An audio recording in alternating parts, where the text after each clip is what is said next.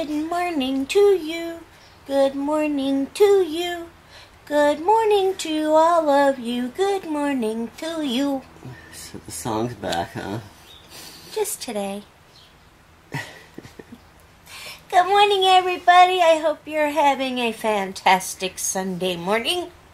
But I have my shoulder surgery tomorrow morning. And I just want to let everybody know that I'm only going to be one handed for about six to eight weeks. Um, so I won't be able to comment back on everybody's comments. I will do my best to comment as much as I can, but please do not get offended if I do not comment back on your comments. Um, new people, I will definitely be commenting on them, welcoming, welcoming them to the community, but it's going to be hard for me to type with one hand, um, so I won't be commenting on everybody's comments. I'm sorry, guys. I hope that doesn't chase any of you away. Um, you know, as soon as I can, I will start commenting back on everybody again, like I do. but just hang in there with us. Good morning, honey. Morning. What you doing? Drinking my coffee. Did you already have your your breakfast? Yes, I did. Oh, that's very nice. Yeah. Two Rice Krispie treats, huh? Yep. Yeah. Get all that sugar in there. Mm. Mm-hmm. Keep my energy up. Yeah. Yeah. Well, I need to go make myself something to eat. Good. Go make something to eat. You go. No. You go. Uh-uh. Uh-huh. Nope. Yep. You need exercise. Hey! The doctor said you needed to be up and about. I exercised yesterday, I exercised the night before, and the night before that. And not today. You're a butt. Yep. Tomorrow you're not going to be able to exercise. Tomorrow I'm not even gonna know my name. Oh, I'll point it out to you a couple times. Are you gonna tell me the right name? Maybe.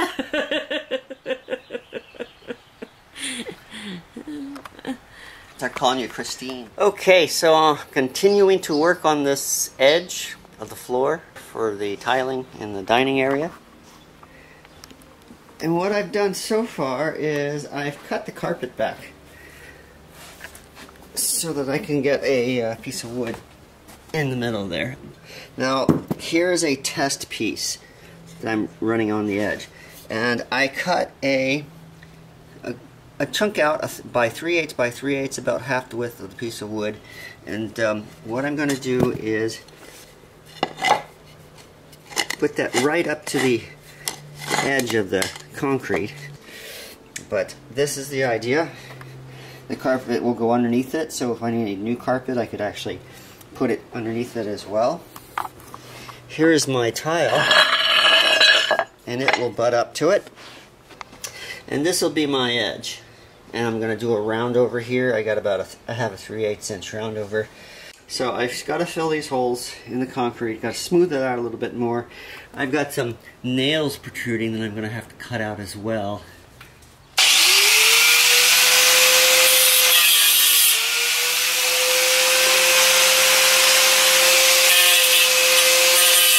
Okay, so I had to cut some nails, so I cut some nails.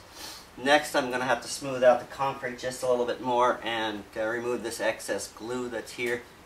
I've uh, covered things up a little because I don't want this glue all over the place. It's uh, glue dust, that is.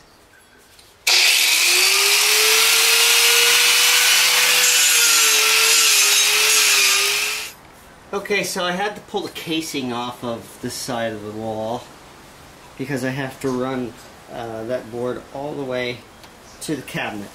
And of course I ran into some more fun stuff.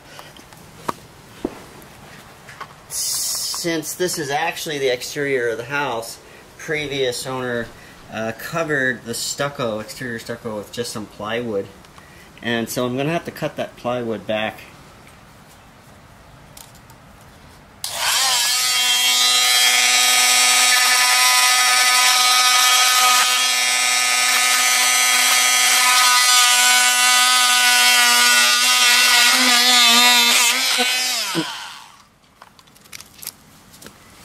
Alright, that should solve my problem.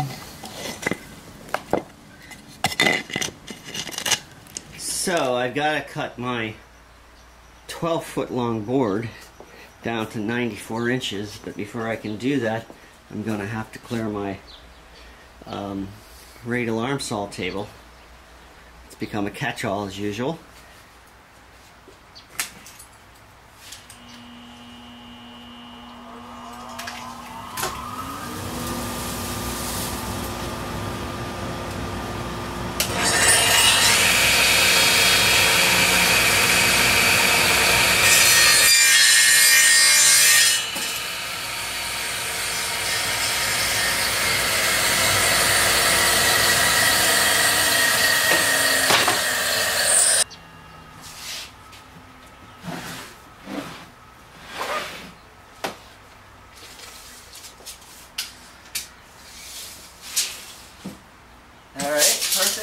Five inches. All right, so I got my table saw out, which was no easy task. And I'm going to cut this down to four inches width. I think it's uh, going to be around three and a half when I'm finished, but it's not consistent all the way across, so I want some to work with. I need to sand it down. Set my blade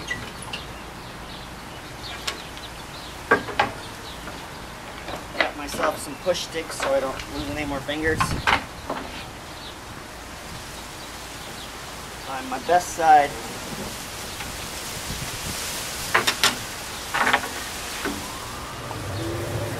let's go.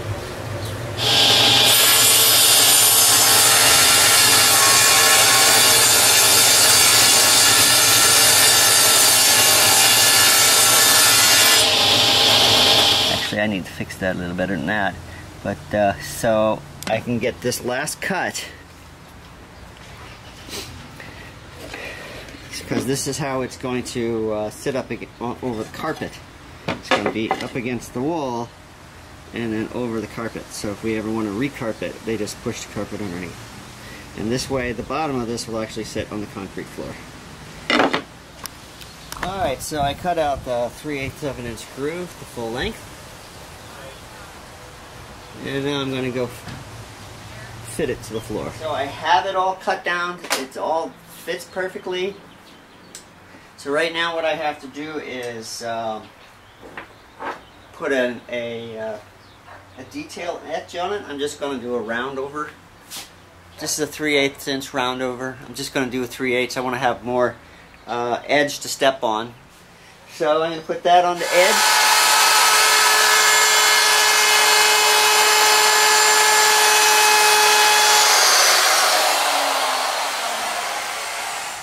So I have two more steps now. I need to sand it. I'll use a, a, random orbital sander to get all the marks out. But before I stain it, I'm going to get some pan sandpaper and just make sure I sand it all in a single direction because this has a tendency to uh, um, lift the grain.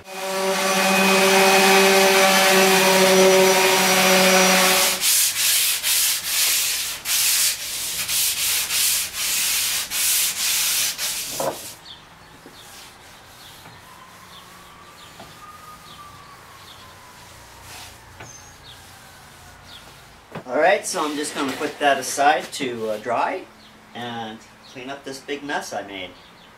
Fine. Hello, everybody. Hello.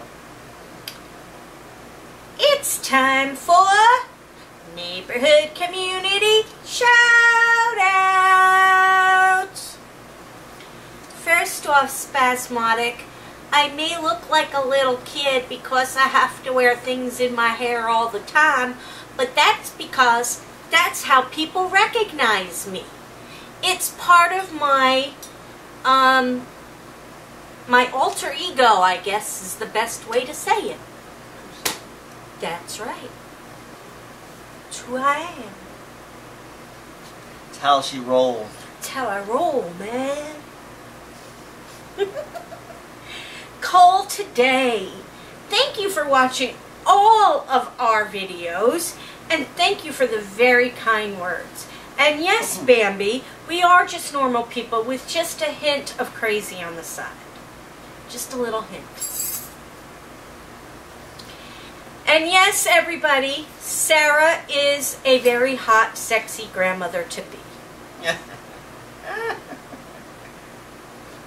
Okay, that's all I had as far as shout outs go. So now we are going to talk about my question that I had last night about your zodiac sign and does it fit you? And we had several people answer. Um, Angie Lupus Life is a Virgo. Melody Mainville, which is Mom's Vlog 80, she's Aries. I Love My Singing Monsters, also Aries. Brandon Windsor, he's Libra. Kind of got that, you know. He, I think he fits that pretty good. Um, Terry Johnson is Capricorn. And I have to say, three of my very best friends are Capricorn. Sarah, Psycho Sarah, my tattoo artist, is a Capricorn. Tanya Longley, I grew up with her back in New York, is a Capricorn. And Crimson Fairy, who is a close, very close personal friend of mine as well, is a Capricorn. What are they trying to tell me? That we love you. Capricorns love me. I am a Pisces. I'm a fish. They're a crab. Hmm. Oh no, wait, no, Cancer's the crab. He's the crab. I'm a fish, he's a crab. They're a goat. So the goat's like the fish. I don't know. But I, being a Pisces, let, let, let you guys decide if these fit me. I'm compassionate, adaptable, accepting, devoted, imaginative, oversensitive, indecisive, self pitying, lazy, and an escapist. Now, I say all but one of those fit me. Tell me below which one you which what you think does or does not fit me being a Pisces. So, we told obviously I told everybody that you're a Cancer. Yeah, I grow on you. Didn't take them long to grow on me. Um, so, what are some of your traits? Uh, I don't think I really. Some of your traits fit. So, I, uh, cancers are called moon ch- children, moon child, because they're supposed to be moody. I'm not moody. I don't know, moody. Not sensitive. He's a little moody sometimes. Yes, you are. Never. One. What else? What else? There's more. Crabby. No, there were good ones. I don't. You didn't write them down? There were good ones that I didn't do. know there was a test at the end of this. There were good ones that do fit him, but he didn't want to write them down and tell what they were. It didn't fit me at all. Some of them did. Pause this. I Pause looked this. up his traits because he was being so stubborn. He is loyal, dependable, caring, adaptable, responsive. What do I? What am I responsive to? When I call you, you come running. That's responsive. I think that's just your lazy part of her.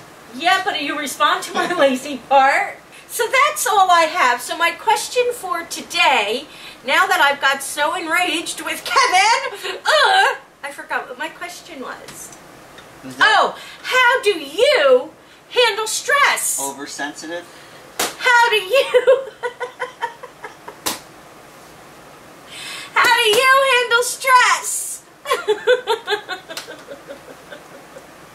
I'm married to stress. How do you handle it? Me? There you is, just stressed me out. There's no stress here. this okay. is this is as mellow as it gets, man. And just because you're getting your hair all long doesn't mean you're like a hippie dude now, okay? Moving on. What was your, Moving what was your question again? My question for today is how do you handle your stress? What do you do to relieve your stress? Remember, keep it clean. Yes, Jay, keep it clean. it's time for neighborhood community credit roll. All right. Jeez, I thought we'd never get through this. Okay, so yesterday's question had to do with the Evil Dead 2, 1987. Um, they there was a scene in the shed where he is uh, actually cutting up his girlfriend with a chainsaw. But poor you have to watch that uh, to understand why. But uh, there's uh, over the door is um, Freddy's glove with the, the knives on it, and apparently it was in response to uh, um, Wes Craven using Evil Dead One. Was on the TV in his movie. Say, uh, and ones who got it right, there's same people: Terry Johnson, Tanya Longley, Greg Myers, and Bambi S. Okay, tonight's trivia is kind of strange. The Birds, 1963, Alfred Hitchcock I like that. classic. Um, there's a, a lot of things that were uh, were done with the birds to make them do what they wanted to do. And remember, this is '63, so they actually had to work with either fake birds or real birds. But uh, in the final scene where they're walking through all the seagulls and stuff, and uh, how did they get the seagulls to just sit there? There's your question for tonight. Put you to were- bed. Gotta take a shower. There's your question for tonight. You are all part of our neighborhood community, each and every one of you out there. We love you all very, very much. Thumbs up. Remember, I will not be able to do much commenting back for a little while. Um, She's gonna be so whiny. all you're gonna see is the top of her head under the blanket. For next week. Kevin! we love you. We'll see you all tomorrow. Well, I might. Well, I'll see you, but I don't remember if I'll see you or not. So, bye! Bye. It ought to be fun. I'll have my camera.